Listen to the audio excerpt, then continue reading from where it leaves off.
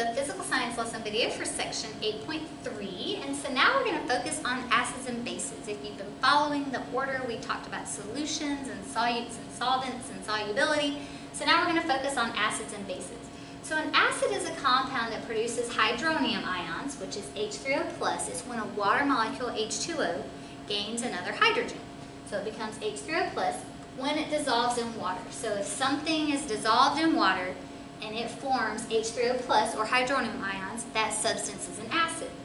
Some general properties of acids include a sour taste, like think about, for example, lemons, that has a sour taste that comes from citric acid. Reactivity with metals, depending on the metal and the concentration of the acid, a lot of times an acid will dissolve a metal completely. And ability to produce color changes in indicators. So indicators, they're chemicals that change color as pH changes. So I'm sure y'all have used pH papers or litmus papers before. Those have been soaked in an indicator, and that's why they change color when you put them in substances with different pHs. The reaction between an acid and a metal is an example of a single replacement reaction. So if you remember we talked about reaction types. We have something single on both sides. So here's your acid, here's your metal, and so that's a single replacement. And so you can see in both of these examples, that metal, I mean, sorry, that acid is trying to dissolve that metal. It's creating a lot of bubbles. The bubbles in this example would be hydrogen bubbles because hydrogen is a gas. An indicator is any substance that changes color in the presence of an acid or a base. Phenolphthalein is an example of an acid-base indicator that is colorless in the presence of an acid and pink in the presence of a base. So here's an example of phenolphthalein.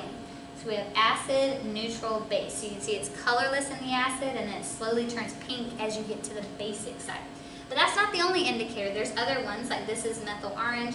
Um, there's bromothymol blue. There's all different kinds of indicators that change different colors in different pHs.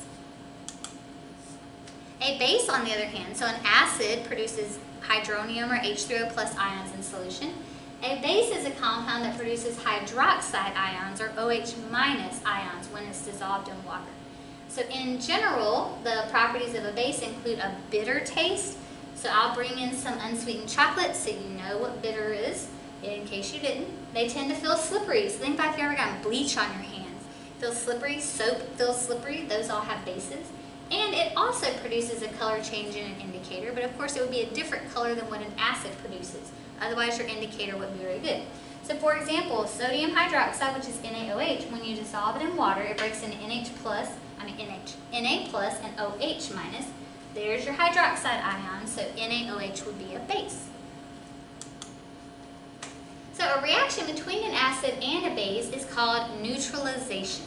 The products of neutralization reaction are water and a salt. Remember, a salt is a whole category of compounds. It's not just sodium chloride like we eat. Okay, so here's three examples. So we have our acids. Our acids usually start with H+. plus. We have our bases. They usually end in OH minus. And so that H plus and those OH minuses, they'll bond to make water, which is H2O. So see, we make water in all of them, and then what's left over, like the NaCl, will bond and make your salt. Here, the K and the SO4 will bond to make your salt. And here, the Ca and NO3 will bond to make your salt. All right, so just whatever's left over after water is made, that compound is called a salt. So, section assessment. List three general properties of acids. Well, they taste sour, they react with metals, and they change the color of an indicator. They're sour, react with metals, and change the color of an indicator. Number two, list three general properties of bases. Well, they're bitter, slippery, and change the color of an indicator. Bitter, slippery, and change the color of an indicator. Number three, what are the two products of a neutralization reaction?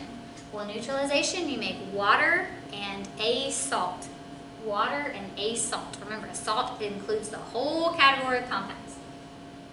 Number four, what ion is present in all common acid solutions? So remember, acids produce the hydronium ion, which is H3O+. plus. So that ion is always present, H3O+. plus.